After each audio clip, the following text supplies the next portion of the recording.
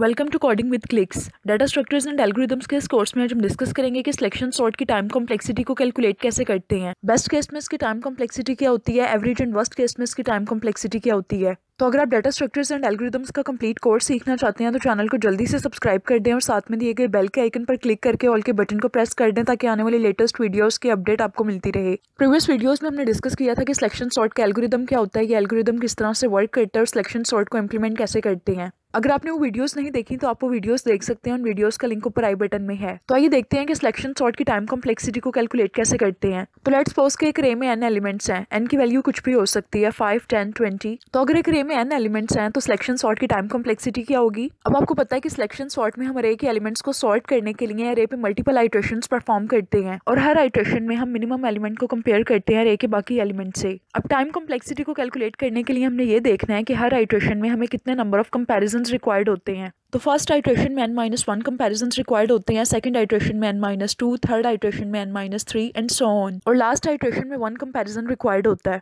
Next हम इन number of comparison को ऐड करेंगे n minus one plus n minus two plus n minus three plus so on plus one तो expression equal होता है n into n minus one divided by two के और n into n minus one divided by two approximately equal होता है n square के तो it means कि सिलेक्शन सॉर्ट की कॉम्प्लेक्सिटी है बीगो एन स्क्वायर इसके अलावा आप नोटिस करें कि सिलेक्शन सॉर्ट के प्रोग्राम में हमें टू फॉर लूप्स रिक्वायर्ड होते हैं. एक आउटर फॉर लूप और एक inner for loop outer for loop हम यूज़ करते हैं नंबर ऑफ़ आइट्रेशन के लिए और इनर फॉर लूप हम यूज़ करते हैं नंबर ऑफ़ कंपेरिजन के लिए. तो n into n equals to n square इसलिए सिलेक्शन सॉर्ट की कॉम्प्लेक्सिटी होती है बीगो एन स्क्वायर तो वर्स्ट केस में सिलेक्शन सॉर्ट की टाइम कॉम्प्लेक्सिटी होती है big O n square worst case तब अक्कर होता है कि अगर हम अरे को सॉर्ट करना चाहते हैं असेंडिंग ऑर्डर में, लेकिन अरे है डिसेंडिंग ऑर्डर में. या हम अरे को सॉर्ट करना चाहते हैं डिसेंडिंग ऑर्डर में, लेकिन अरे है असेंडिंग ऑर्डर में। एवरेज केस में भी सिलेक्शन सॉर्ट की टाइम कॉम्प्लेक्सिटी होती है big O n square average case तब अक्कर होता है कि अगर रे के एलिमेंट्स ना तो असेंडिंग ऑर्डर में है और ना ही डिसेंडिंग ऑर्डर में, बल्कि जम्बल्ड ऑर्डर में है। और बेस्ट केस में भी सिलेक्शन सॉर्ट की टाइम कॉम्प्लेक्सिटी होती है big O n square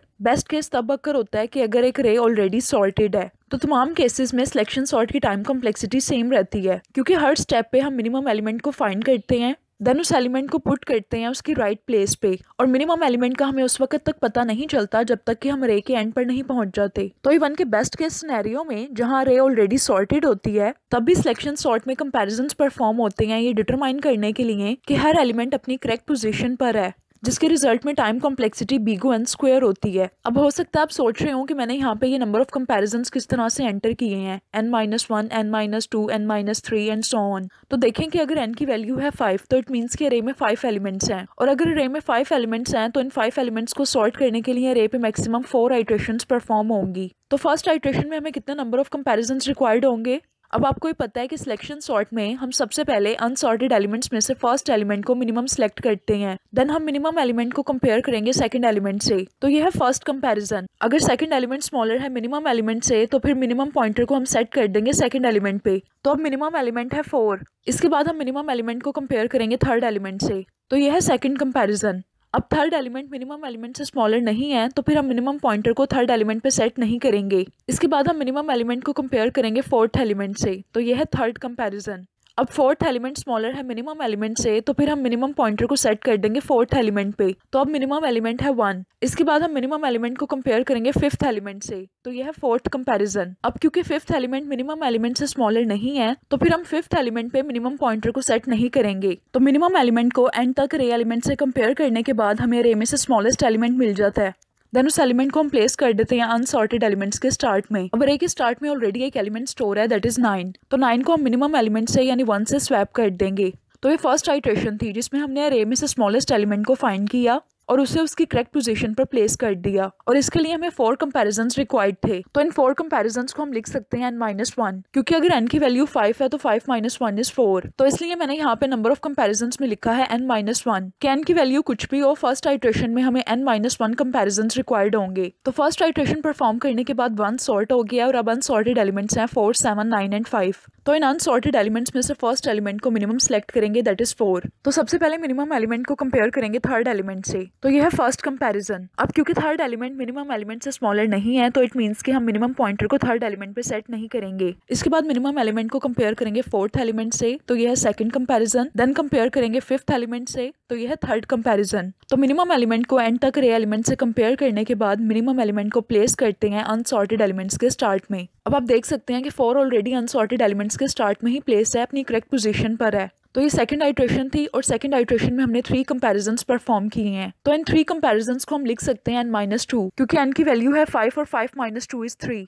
इसलिए मैंने यहाँ पे लिखा है एन माइनस टू कि एन की वैल्यू जो भी हो सेकंड आइट्रेशन में हमें n minus two comparison required होंगे। तो सेकंड आइट्रेशन परफॉर्म करने के बाद फोर भी सॉर्ट हो गया है, और अब हमारे पास अनसॉर्टेड एलिमेंट्स हैं सेवन नाइन एंड फाइव तो सेवन नाइन एंड फाइव में से फ़र्स्ट एलिमेंट को मिनिमम सेलेक्ट करेंगे दैट इज़ सेवन नेक्स्ट हम मिनिमम एलिमेंट को कंपेयर करेंगे, सबसे पहले फोर्थ एलिमेंट से। अब फोर्थ एलिमेंट मिनिमम एलिमेंट से स्मॉलर नहीं है इट मीन्स के फोर्थ एलिमेंट पे हम मिनिमम पॉइंटर को सेट नहीं करेंगे। इसके बाद मिनिमम एलिमेंट को कंपेयर करेंगे फिफ्थ एलिमेंट से। फिफ्थ एलिमेंट मिनिमम एलिमेंट से स्मॉलर है तो मिनिमम पॉइंटर को सेट करेंगे फिफ्थ एलिमेंट पे। तो मिनिमम एलिमेंट को और ए एलिमेंट से कंपेयर करने के बाद हमारे पास जो भी मिनिमम एलिमेंट आया है, उस एलिमेंट को हम प्लेस कर देंगे अनसॉर्टेड एलिमेंट्स के स्टार्ट में।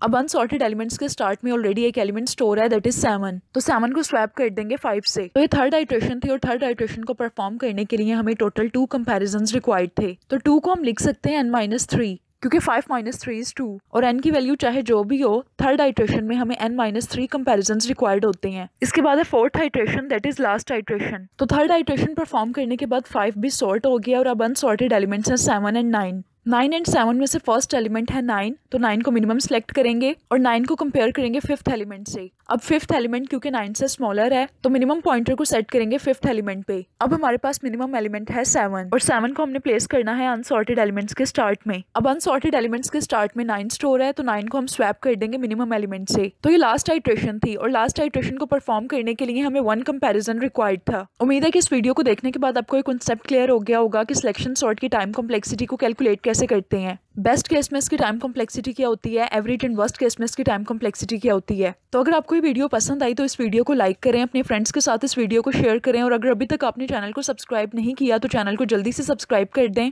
और साथ में दिए गए बेल के आइकन पर क्लिक करके ऑल के बटन को प्रेस कर दें, ताकि आने वाली लेटेस्ट वीडियोज़ की अपडेट आपको मिलती रहे।